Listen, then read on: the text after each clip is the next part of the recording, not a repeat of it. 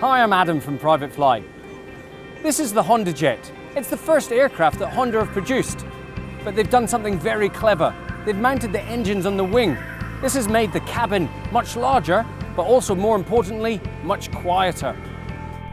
It's a VLJ, or Very Light Jet, and a distinctive addition to the entry-level bizjet market. Compared to its VLJ competitors, the HondaJet is faster, lighter, and more fuel efficient. It has a speed of 420 knots and a range of 1,180 nautical miles.